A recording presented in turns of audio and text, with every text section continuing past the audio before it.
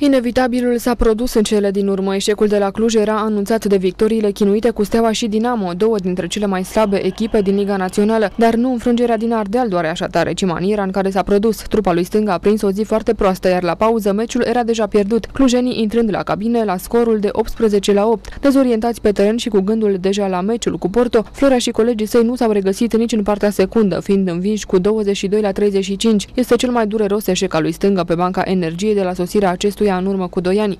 O zi nu a ieșit nimic. Totul a fost pădos. Parcă eram fără minte, fără creier. Totul prost, apărare, atac, poartă, tot, tot, tot, parcă s-au legat una de dată.